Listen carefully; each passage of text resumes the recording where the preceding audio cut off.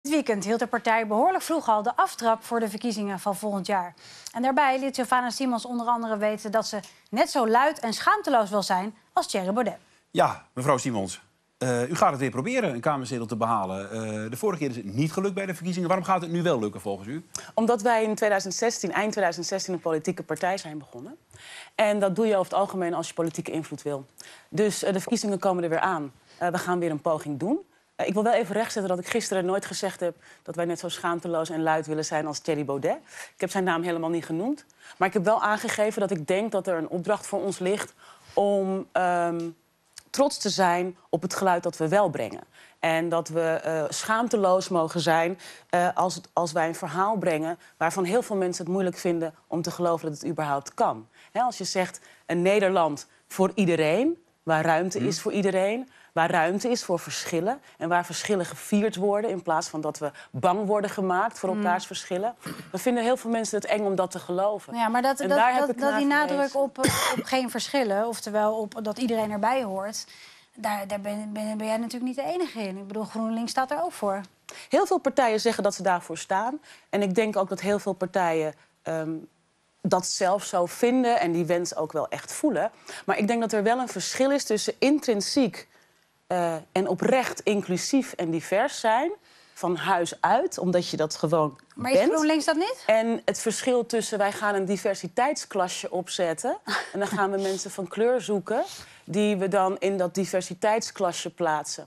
Um, dat is een heel ander uitgangspunt. Hmm. En iedereen die gisteren bij onze kick-off was... Uh, ook mensen die daar uh, waren uit hoofden van hun beroep... omdat ze journalist zijn of omdat ze fotograaf zijn... of op een andere manier kwamen kijken die waren echt oprecht verrast van de, uh, ja, de intrinsieke diversiteit uh, binnen ons. We lazen wat, wat, wat artikelen over die kick-off. Uh, de toon was activistisch.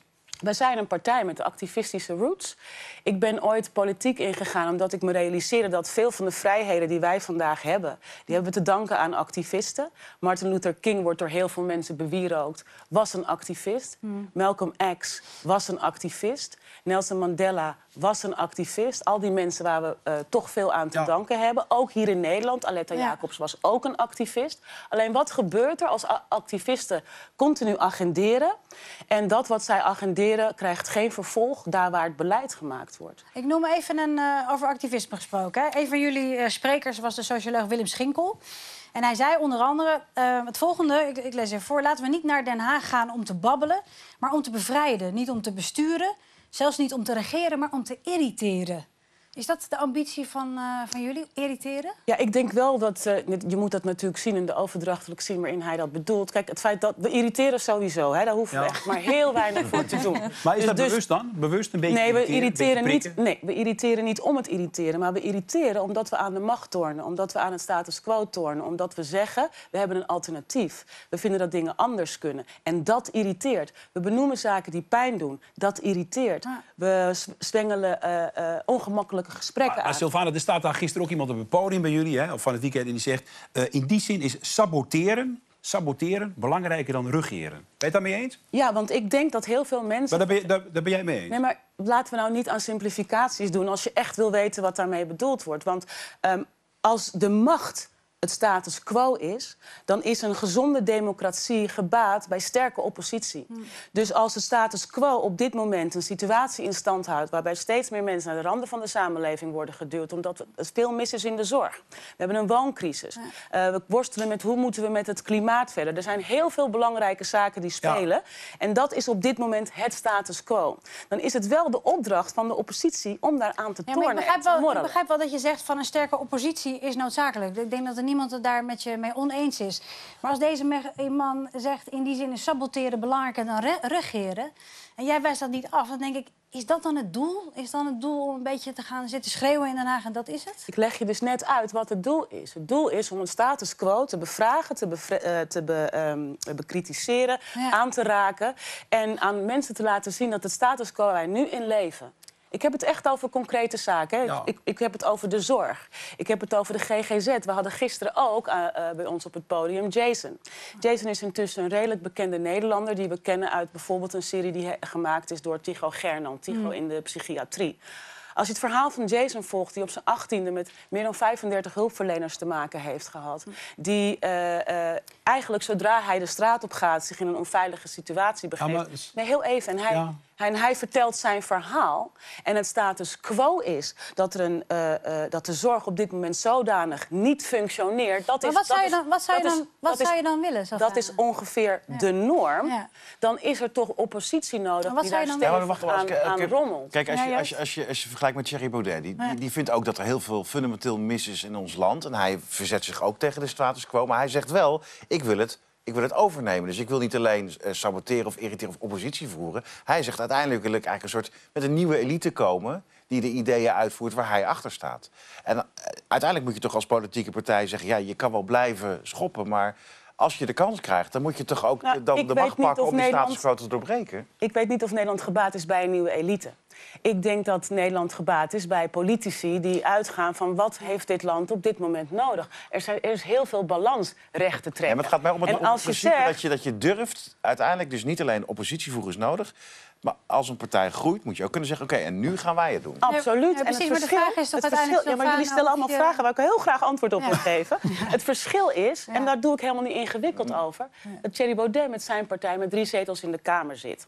Ik heb niet de illusie dat wij de, de Kamer op dezelfde manier gaan bestormen. Maar ik ben er wel van overtuigd dat het verhaal van bijeen... het verhaal is dat nodig is om... en ik zal, ik zal het je nog sterker vertellen... en dat zal je misschien heel erg raar vinden. Hmm.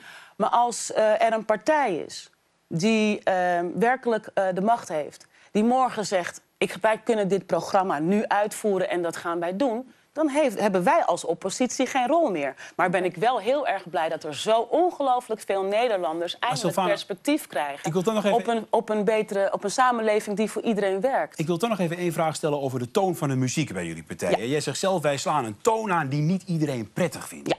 En dat doe je bewust. Nee, dat doe ik omdat het nodig is. Ja, nou, dat- maar dat doe je dus bewust. Hè? En dan zeg je bijvoorbeeld ook, wij willen direct zijn en duidelijk. En dan zeg je, citeer ik, racisten noemen we racisten en fascisten noemen we fascisten. Ja, Over wie heb je het dan in Nederland? over de racisten. Ja, wie zijn dat dan? Nou ja, ik ken ze niet allemaal bij naam, maar het zijn onder andere de mensen die mijn eh, eh, in, eh, in- inbox heel vaak, eh, eh, eh, hoe moet je dat zeggen, Ehm, van content voorzien. Ja, Ehm, en we hebben ze. eh, we je krijgt hebben veel ze- post, nog steeds. Absoluut, ja hoor, elke dag. Zitten er op dit moment racisten in de politiek? Jazeker. Wie dan? Nou, eentje die bijvoorbeeld van de week tweette dat Nederland dus verstandig moet gaan stemmen omdat we overspoeld worden door Marokkanen die vrouwen lastigvallen in de trein. Thierry Baudet. Je kent hem? Ja, nou ja, we hebben het er even over gehad hè, aan het begin Ja. van de maar kijk, dat is heel. Dat is, kijk, weet je, het gevaar is niet. De af, ik zei het gisteren ook, hè? De afgelopen dagen, weken hebben we heel veel stilgestaan en bij alle, allerlei zaken die we nooit meer willen. En dan, gaan, dan kijken we naar de excessen en dan zeggen we dat willen we niet meer. Maar wat we volgens mij helemaal en echt absoluut niet moeten willen, is dat we een klimaat creëren waarin het heel normaal wordt om dingen te zeggen die leiden tot die excessen. Waarbij het heel normaal wordt om groepen buitenspel te zetten op basis van hun etniciteit.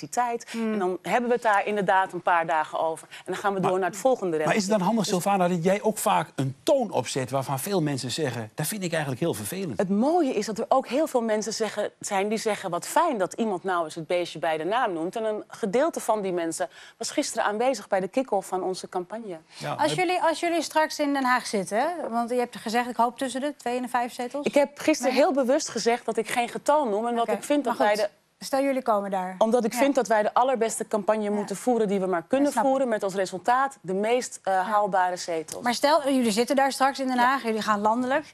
Ehm, is het dan, gaan jullie, zijn jullie bereid om, om enigszins water bij de wijn te doen? Komen er, kunnen jullie compromissen sluiten? Ben je bereid om mee te regeren? Dat is natuurlijk uiteindelijk, lijkt mij, wat je zou moeten willen als politieke partij. Nou, weet je wat ik wel eens zou willen? Dat mensen echt met aandacht kijken naar wat we al doen. Hè? Want Nee, maar ik wil graag heel even antwoord op de vraag. Nou, best ik, best ik, ik, ben, ik ben je dus. antwoord aan het geven.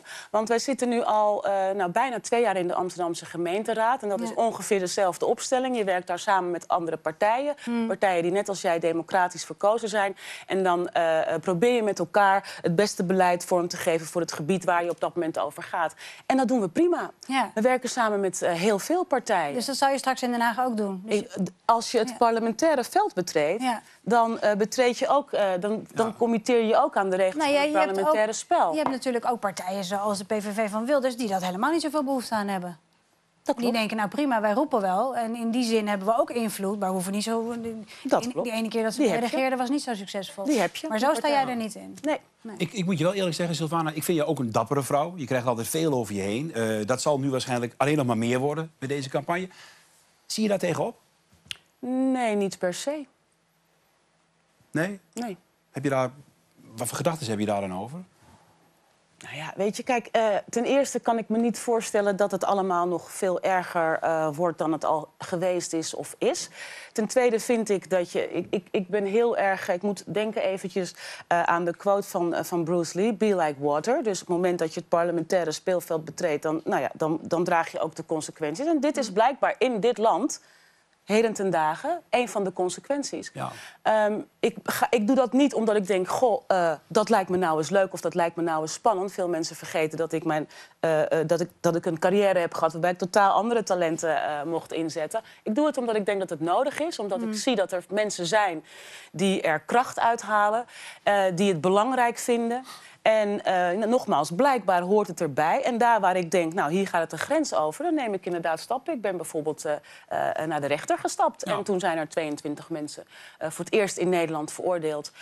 voor het doen van racistische en seksistische uitlatingen. Dus ehm, you take the good with the bad...